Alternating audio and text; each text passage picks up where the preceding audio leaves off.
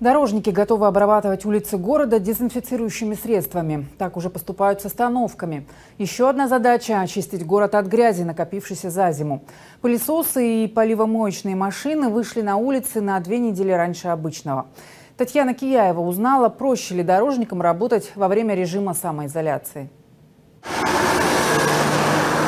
На Красном проспекте настоящий парад дорожных майдадыров. Поливомоечные машины сбивают весеннюю пыль с асфальта и освежают воздух. К генеральной уборке после зимы дорожники готовы давно. 65% техники уже переоборудовали для весенне-летнего сезона. В этом году мы вышли раньше, раньше практически на 2-3 недели бы не привязывались к срокам, которые были прошлый год. То есть ориентировались по погоде.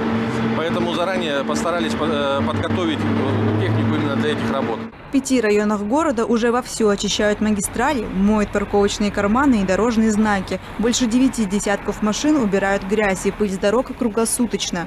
Дневная смена в 8 часов утра начинается до 5 вечера, а ночная с 8 до 7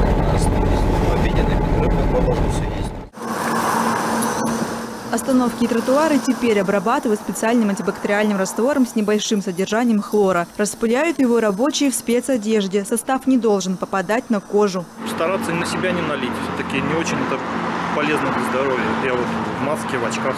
Потому что бывает на щеки попадает, жгет слегка. Пока на магистрали трудятся большие вакуумные пылесосы, на тротуарах чистоту наводят их миниатюрные собратья.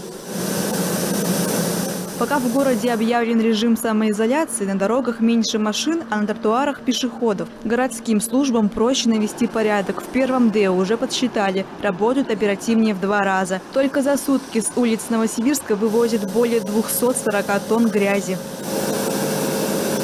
Готовы дорожники и к дезинфекции города. Если понадобится, поливомоечные машины заправят спецраствором и выведут на улицы.